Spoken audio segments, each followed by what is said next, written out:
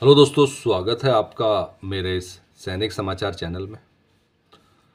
दोस्तों, आज की वीडियो में बात करेंगे सभी केंद्रीय कर्मचारियों, पूर्व सैनिकों और पेंशनर्स के लिए दोस्तों।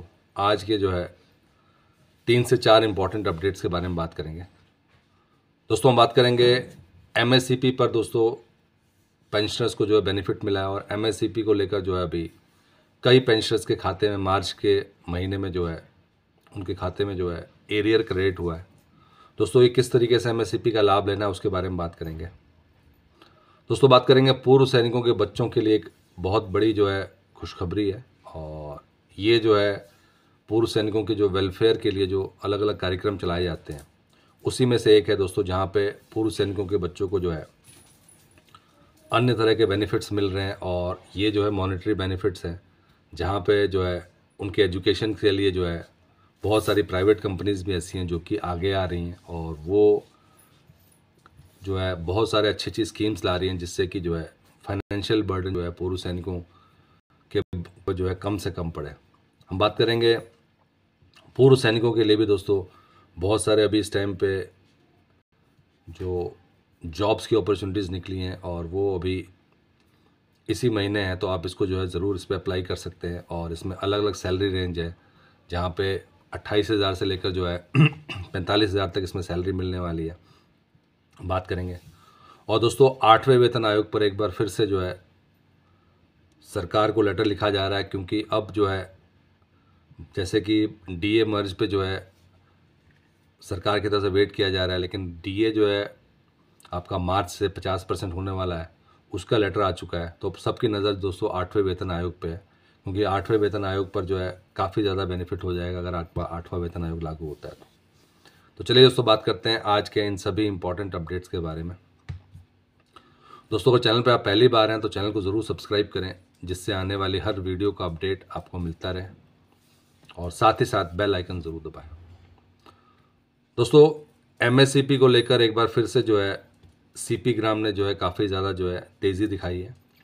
और एमएससीपी का जब से इसके ऊपर ऑर्डर आया हुआ है, कई पूर्व सैनिकों को जो है एम के लाभ मिले और एम के लाभ मिलने के साथ तुरंत उनके जो खाते में जो है एमएससीपी का जो एरियर था, जो post two thousand six pensioners को मिलता है, वो क्रेडिट हुआ है और सेम दोस्तों अभी इस महीने भी जो है कई पेंशनर्स हैं, जिन्होंने जो है सीपी ग्राम के थ्रू जो है अपना ग्रेवेंस डाला था और उन्होंने बताया था कि उन्होंने एक ही रैंक पे सोलह साल काम किया हुआ है। और दूसरी बात यह है कि जितने भी वो इसमें नियम है कि उन्होंने प्रमोशन को डिनाई नहीं किया था, कैडर अपडेट भी उन्होंने जो है एक्सेप्ट किया था उसमें। तो जो भी तीन चार नियम है उसमें कोई डिसिप्लिन एक्शन नहीं होना चाहिए। उन सब के बावजूद जो है वो एलिजिबल हैं और उन्होंने जो है सीपी ग्राम में जो है अपना ग्रीवेंस डाला था। सीपी ग्राम जो है, उन्होंने जो उसमें जो है सीपीपीसी ने जो है स्पर्श या बैंक जिनके पास भी उनको निर्देश देते हैं और उसके बाद से दोस्तों एमएससीपी का लाभ जो है मिला है। इसी तरह से दोस्तों, कई लोगों को जो है, जो पी सी डी सर्कुलर 568 का है, उसमें भी सेम केस है। तो 568 सर्कुलर जो है प्री 2006 पेंशनर्स को, उसका भी जो है, सो, लाभ मिल रहा है। कई लोगों को एरियर मिला है और कई लोगों के मैसेज आए हैं, जहाँ पे उन्होंने ये प्रोसेस फॉलो किया है। पहली बात दोस्तों, उन्होंने एलिजिबिलिटी चेक की कि वो एलिजिबल हैं कि नहीं है। और एलिजिबिलिटी चेक करने के बाद से उन्होंने जो है सी पी ग्राम में अपना केस जो है रखा अपनी जो है, और सी पी ग्राम एक वेबसाइट है, उसमें सिर्फ़ आपको लिखना होता है। फॉर्म होता है फॉर्म में भरना होता है कि भाई आप जो है आपका ये ये डिटेल्स हैं और आपने जो है इस रैंक में इतने साल आपने जो है सेवा की है और आप जो है एम के लिए एलिजिबल हैं। और उसके बाद से दोस्तों सीपीपीसी जो है हर केस को देखते हैं और उसमें ये भी है कि आपकी डेडलाइन है।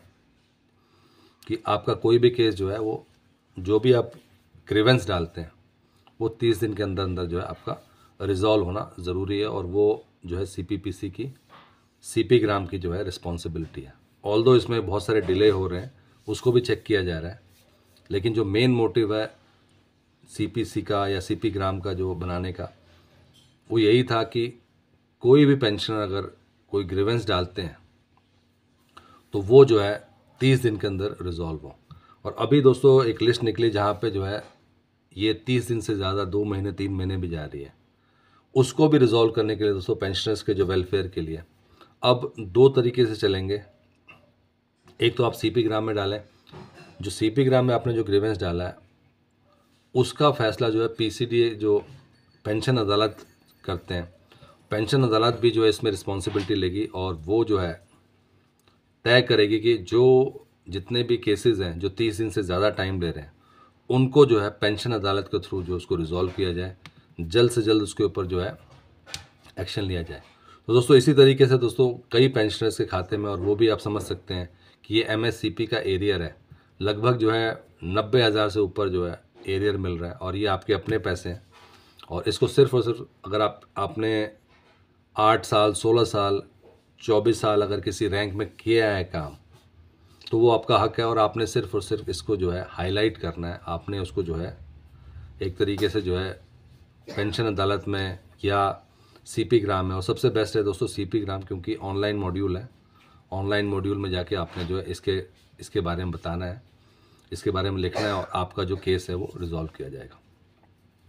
बात करते हैं दोस्तों नेक्स्ट अपडेट की, जहाँ पे जो पूर्व सैनिकों के जो बच्चे हैं, जो पूर्व सैनिकों के आश्रित हैं, जो डिपेंडेंट्स हैं, उनके लिए दोस्तों एक बड़ी खबर आ रही है और ये है दोस्तों जेपी यूनिवर्सिटी की तरफ़ से और जेपी यूनिवर्सिटी ने जो है फ़ी कंसेशन देना शुरू कर दिया है। जितने भी सैनिकों के बच्चे हैं, उनको जो है फ़ी कंसेशन मिल रहा है। और अगर हम नॉर्मल फ़ीस की बात करें, जो कि इंडियन स्टूडेंट को मिल रहा है, और हम ये बात करने जा रहे हैं दोस्तों फ़ी स्ट्रक्चर पर annum for normal students C M awards of serving C M A retired arm forces paramilitary forces and वीर और दोस्तों, जो भी हम बात करते हैं, दोस्तों, इसका ऑलरेडी जो है पब्लिकेशन आ चुका है। और ये जो है आपको जेपी यूनिवर्सिटी की तरफ़ से दिया जा रहा है। और जेपी यूनिवर्सिटी की तरफ़ से जो है ये बड़ी जो है आपको फैसिलिटी मिल रही है। और इसमें अगर तीन लाख के आसपास इसकी फ़ीस है।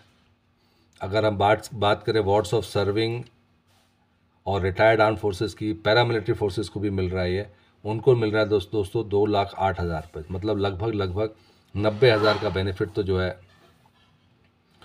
सर्विंग जो है पैरामिलिट्री फोर्सेस को भी मिल रहा है रिटायर्ड को भी मिल रहा है, उनके बच्चों को। और अगर हम बात करें फ़ी फॉर वार्ड्स ऑफ़ वीर नारीज़, उनको और भी बेनिफिट उनको लगभग लगभग एक लाख चार हज़ार का बेनिफिट मिल रहा है। तो दोस्तों, ये हम बात कर रहे हैं बीटेक इंजीनियरिंग करने के लिए जो है। अगर आपको हर साल जो है एक लाख दस हज़ार रुपये तो यानी कि बाकी नॉर्मल स्टूडेंट्स से जो जो चार साल का बीटेक होता है तो चार लाख रुपए सीधे सीधे आपके बैठ रहे हैं और आपको जो एजुकेशन भी मिल रही है हाई क्लास एजुकेशन मिल रही है। बात करते हैं दोस्तों दूसरे अपडेट की, जहाँ पे पूर्व सैनिकों के लिए जो है कुछ जॉब्स वैकेंसीज भी निकली हुई हैं, जिसका कि आप बेनिफिट उठा सकते हैं। दोस्तों ये है बॉम्बे रिलायंस में hospital ex serviceman security guard duty और ये निकला हुआ है इकतालीस हज़ार प्लस छत्तीस सौ।